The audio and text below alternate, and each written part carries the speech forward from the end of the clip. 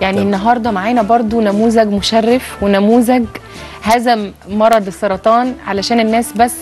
ما تبقاش خايفه من المرض ده قوي ان شاء الله ربنا يبعده عننا كلنا بس ان شاء الله هزمتيه وكان في الحته في حته اللي هي شجعتك ان انت تهزميه هي يوجد ضحك عشان كده سافرتي الهند فعلا صراحه قصه رائعه